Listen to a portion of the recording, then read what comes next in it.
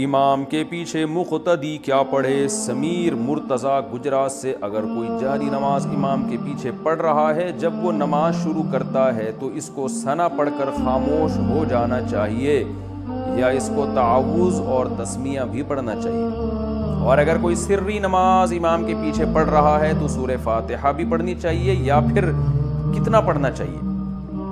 जहरी नमाज़ हो या सिर्री नमाज़ हो, आप सना पढ़ के इमाम के पीछे खामोश हो जाए।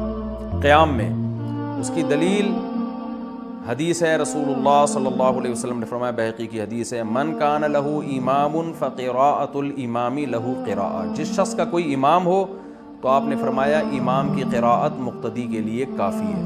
और नासिर अलबानी रहमहुल्लाह ने इस हदीस को सही करार दिया। इसी वजह से नासिर अलबानी जो थे, उनका अपना भी मज़हब यही था कि जहरी नमाज़ों में बहरहाल इमाम के पीछे मुकम्मल खामोशी होगी।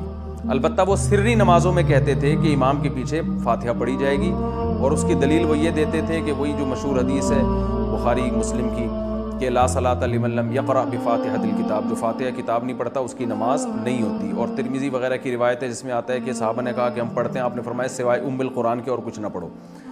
तो और इकरा बिहाफ़ी नफसिक के अल्फाज भी हैं, कि तो इस बेस पर अलबानी रही का मज़हब ये था कि भाई जहरी में नहीं पढ़ी जाएगी लेकिन सिर्री में पढ़ी जाएगी। लेकिन अहनाफ ने इस हदीस को आम लिया है, जिसमें आता है, मन कान लहू इमाम फ़िरातुल इमामी लहू किरा नबी ने फरमाया, जिसका इमाम हो, इमाम की किरात मुख्तदी के लिए काफ़ी है। तो ये जहरी और सिर्री का नबी ने कोई फ़र्क नहीं किया इसमें। लिहाजा जहरी में भी इमाम की किरात चाहे वो फातिहा हो या सूरत हो, वो मुख्तदी के लिए काफ़ी है सिर्री में भी काफ़ी है। रहा यह मसला कि हदीस में जो आता है कि इकरा बिहाफ़ी नफसिक सूर फातिहा के बारे में आता है, दिल में पढ़ो तो हम कहते हैं दिल में पढ़ने का मतलब उसके मानी और मफहूम में आप सूर फातिहा के बारे में गौर कर सकते हैं, ज़बान से ना पढ़ें आप। इस तरह से तमाम रिवायतों में तदबीक हो जाती है। रहा ये मसला कि नबी सल्लल्लाहु अलैहि वसल्लम ने यह जो फरमाया कि जो फातिहा नहीं पढ़ता, उसकी नमाज़ नहीं होती तो सही है मुस्लिम में पूरी हदीस है।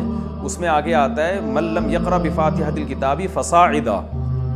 सुलेमान अलामश एक मशहूर रावी है, उन्होंने इन अल्फाज का इजाफा किया है, और इमाम मुस्लिम ने इस हदीस के बारे में साफ़ कहा है, तुरीद अहफ़ामिन सुलेमान के सुलेमान अलामश का इजाफ़ा ये मकबूल है। उसके अल्फाज हैं, जो सूर फातिहा नहीं पढ़ता और आगे किरात नहीं करता, उसकी नमाज़ नहीं होती। तो इससे पता चलता है, फातिहा के बाद किरात भी ज़रूरी है और इसका कोई भी कायल नहीं है, इमाम के पीछे किरात भी की जाए। तो हम कहते हैं, जैसे वहाँ आप, यानी ये इस हदीस को इमाम के साथ ख़ास करते हैं या इनफरादी नमाज़ के साथ ख़ास करते हैं, जिसमें आता है कि फ़ातिहा प्लस तिलावत भी करनी है आपने।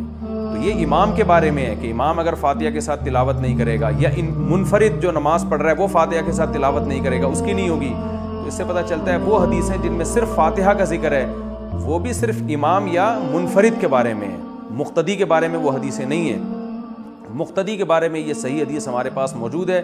मन कान लहू इमाम जिसका कोई इमाम है फ़िरातुल इमामी लहू किरा तो इमाम की किरात उस मुख्तदी के लिए काफ़ी है। तो जहरी सिर्री दोनों को शामिल है। लिहाजा आपसे सुर सिर्फ़ वो पढ़ें, सना पढ़ें और खामोश हो जाएँ।